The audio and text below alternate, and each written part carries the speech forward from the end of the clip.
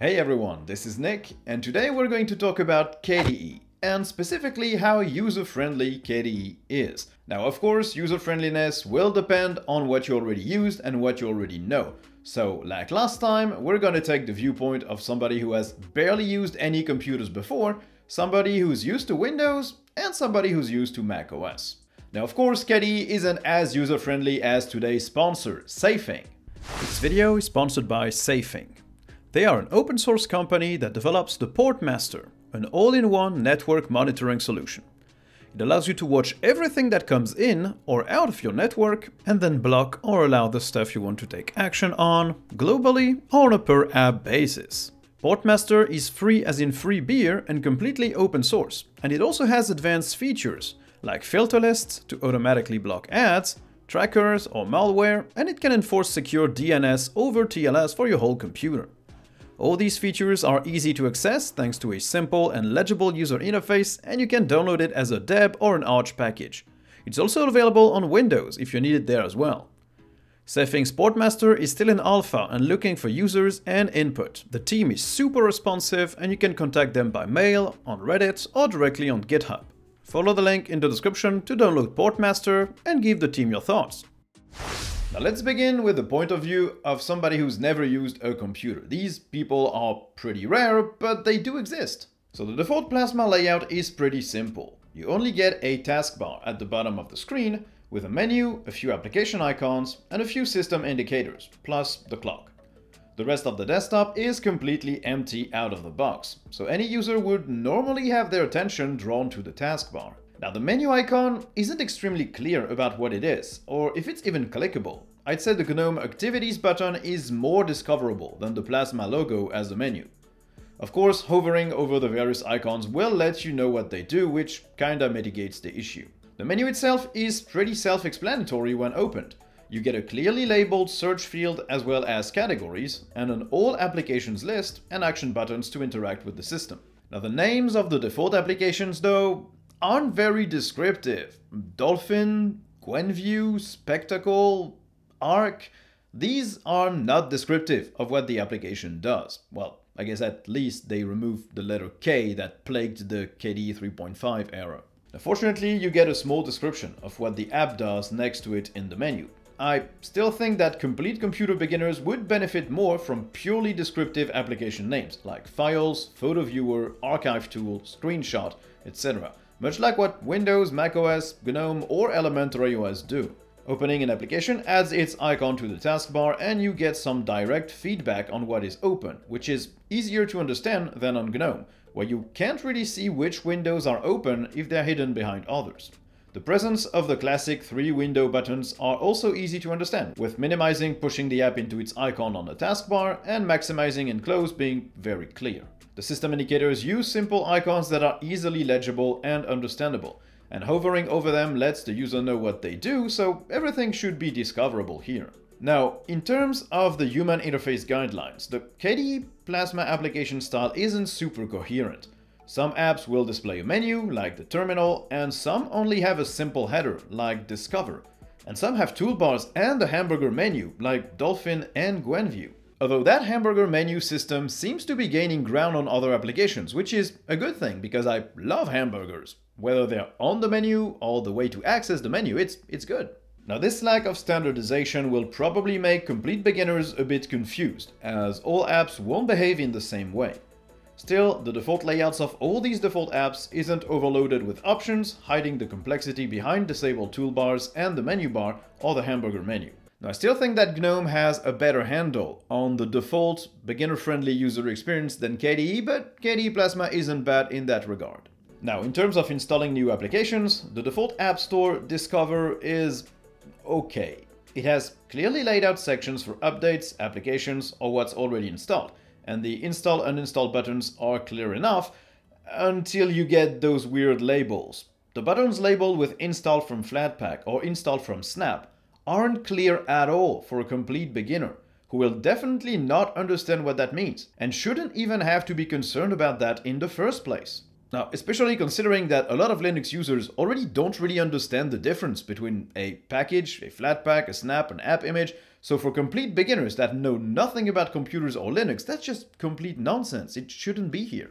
Now, I much prefer the GNOME approach here, with a default source that is selected, that advanced users can change, and the install buttons just being labeled install. Now, KDE Plasma is mainly known for all its customization options, and for complete beginners, these will be hard to get a grip on. While the settings app regroups most of the settings a user can change, these are very, very numerous. And while most options are well explained, navigating this will be a complete nightmare for a first-time computer user, and they will probably shy away from changing anything at all. The fact that the settings for the main panel itself are also found elsewhere than in the main settings could be confusing, as you would expect everything to be located in the same place. I wouldn't expect a complete computer beginner to try and change many things about how their desktop works, but if they ever want to do it, KDE Plasma will be very complex to learn, even though it will allow them, in time, to do whatever they want to do.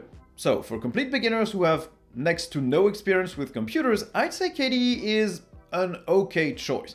The applications look fine, they're usable, and they don't have too many options revealed by default. The default layout is simple to understand, and installing apps isn't too tricky. But I still think that GNOME has a better handle on being super accessible to computer beginners.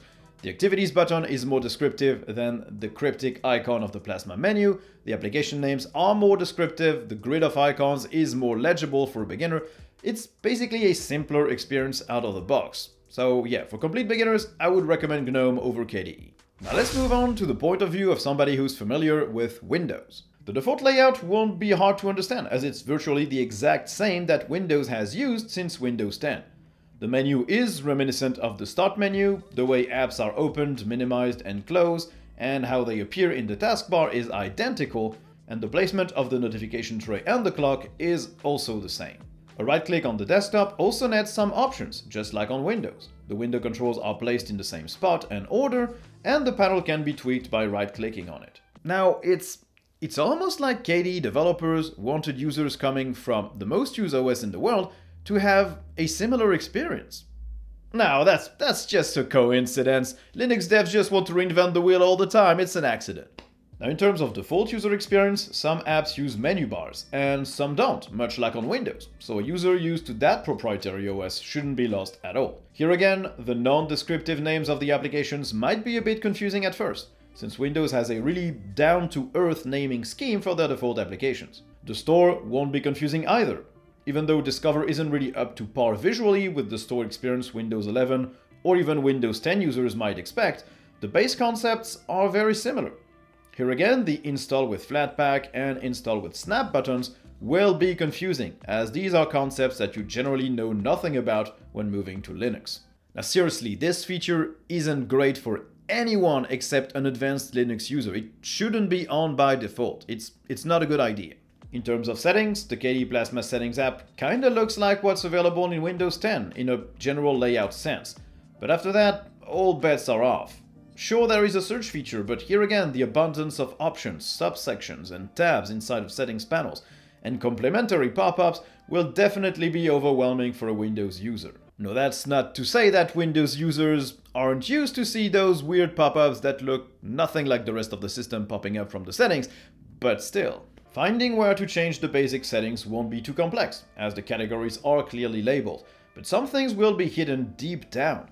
For example, just setting the window placement as centered will involve going to Window Management, then Window Behavior, then the Advanced tab, and finally using the drop-down to change the window placement. I like what Plasma is doing with a home page with basic settings, but in my opinion there should be a lot more here. Animation speed or user feedback shouldn't be there.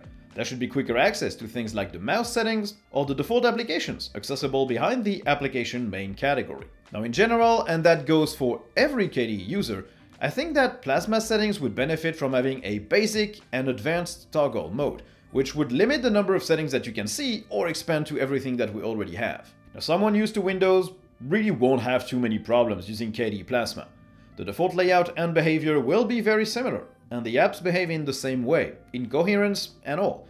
But when they'll try to make their experience even more Windows-like by using the settings, they will probably be lost at first. These settings are tricky to navigate.